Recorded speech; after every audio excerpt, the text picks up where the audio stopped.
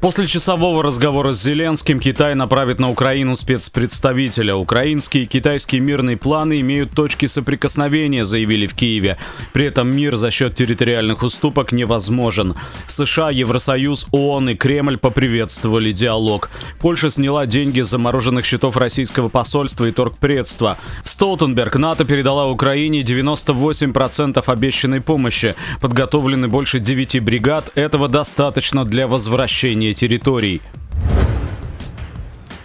В Мелитополе сработало взрывное устройство. За невыдачу виз журналистам из пула Лаврова российский МИД не пустил американских дипломатов к задержанному Гершковичу. Турция открыла первую АЭС и вступила в ядерный клуб. Эрдоган поговорил с Путиным по видеосвязи. Ранее президенту и кандидату пришлось остановить предвыборное интервью из-за плохого самочувствия. Китай пообещал решительный ответ, если военно-морские силы стран Евросоюза появятся у берегов Тайваня. Идею озвучил Барель. Пентагон впервые с 80-х направляет атомную подлодку в Южную Корею. США в этом году произведут 80 ядерных боеголовок. Тем временем Нижняя палата Конгресса согласовала республиканский план по подъему долгового потолка. Если демократический сенат его заблокирует, в июне возможен дефолт. Аргентина переходит на юани в торговле с Китаем.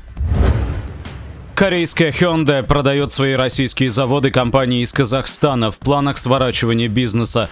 Центробанк Индии проверит нефтяные компании страны на предмет обхода антироссийских санкций.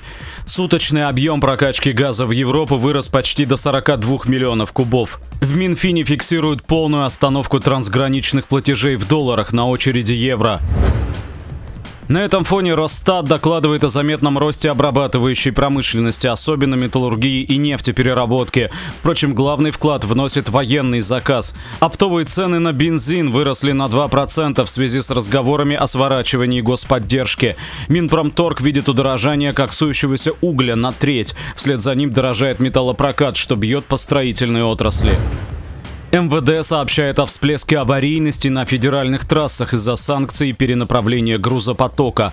Гендиректор фармацевтической Биннофарм Групп рассказал коммерсанту, полное импортозамещение производства лекарств приведет к их значительному удорожанию, как в Иране. Впрочем, в любом случае скоро недорогие иностранные препараты перестанут завозиться в Россию. Конец цитаты.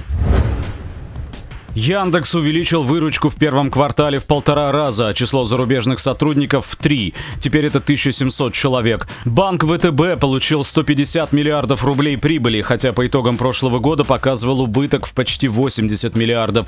Рутуб принадлежит Газпрому, опроверг планы потратить на развитие дополнительные 30 миллиардов. Утром коммерсант писал, что холдинг просил у собственников 50 миллиардов рублей, чтобы сократить отставание от Ютуба.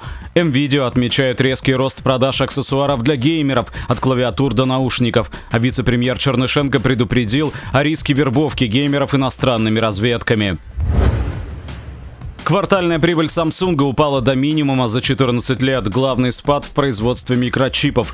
Немецкие концерны BASF и Merck готовятся ввести ограничения на поставки химсырья для полупроводниковой промышленности Китая.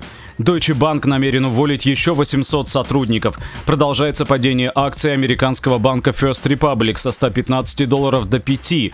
Обещание сократить четверть персонала не помогло. Банк активно играл в ипотеку и привлекал состоятельных клиентов вроде Цукерберга. Financial Times пишет о нервозности в Белом доме. Прокуратура Праги завела уголовное дело против одной из учительниц за оправдание СВО. В Молдавии будут штрафовать за георгиевские ленты 9 мая. Wall Street Journal пишет, Китай ужесточает законодательство в сфере госбезопасности. Для борьбы со шпионами власти получат право досмотра электронных устройств частных лиц и организаций, в том числе иностранных. Депутат Миронов просит прокурора Краснова проверить нейросеть Грефа на соответствие законодательству. На патриотические запросы Сберкандинский генерирует непатриотичный контент. Роскомнадзор с прошлого февраля заблокировал 160 тысяч ресурсов с фейками об СВО. Викимедиа, она управляет российской Википедией, опять оштрафована за неудаление информации. За уклонение от налогов при попытке выехать в Беларусь задержана блогер Блиновская. Вмененная сумма почти миллиард рублей. Роспатент зарегистрировал товарный знак «Грустная точка». Заявку подало агентство «Ритуал.рус».